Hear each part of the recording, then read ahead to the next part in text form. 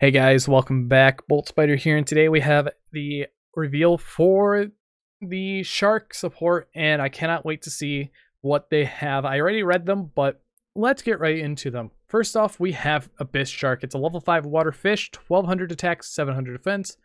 You can only use the first effect of this card's name once per turn.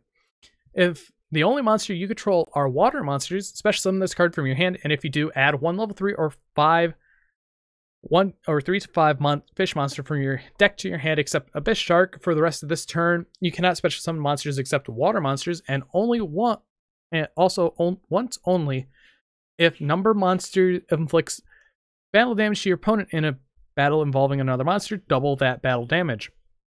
If this card is can uh, if this card would be used as for a exceed summon of a number monster, you could treat this as level 3 or 4. So being level 5 extender is pretty good. Very, very interesting what they did. After that, we have the next shark. It is a level 5 water with 1100 and 800, and it is Crystal Shark. You can only use the first effect of this card once per turn. If this card is in your hand or graveyard, target a water monster on the field, special summon this card, and if you do, have the target to the monster's attack, but banish it. Banish this card if it leaves the field. For the rest of the turn, it locks you into Exceed monsters, which is fine, but that's actually pretty good. And it has the same effect as the other shark, uh, Abyss Shark, where it, you can make it a level 3 or 4 if it's used for a number monster. Next, we have the Nash cards. So we have Barian's Chaos Draw. Activate this card, you must draw it for your draw normal draw in your draw phase.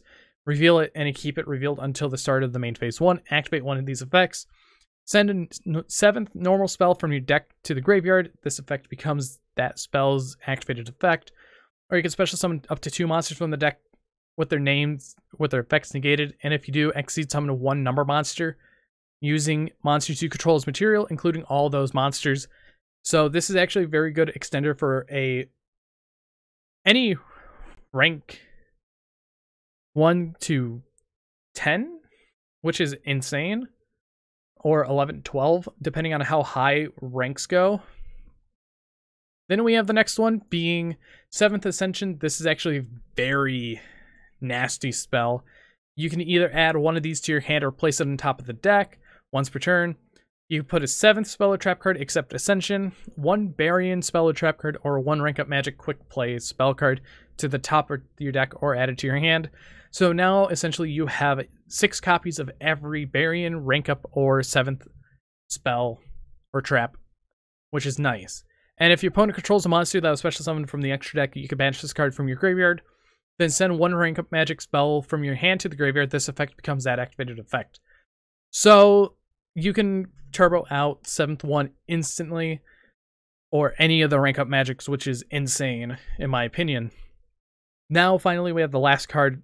We are only missing number four, or we're missing three and four, I think, which is very interesting because that's two cards that we're missing. And finally, we have Eternal 7.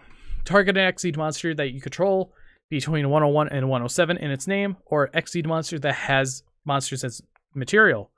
Then activate one of the following effects. Negate the effect of one monster your opponent controls with attack less than or equal to the targeted monster until the end of the turn. So this is like a dogmatika punishment. Or detach all materials from that targeted monster, special summon a number exceed from your graveyard, and you can only use one effect of this card's name once per turn. So number monsters are the Barian numbers now have a dogmatika punishment, which is nice, and it's even searchable with the Ascension. But anyways, I've been Bolt Spider. I hope you guys did enjoy.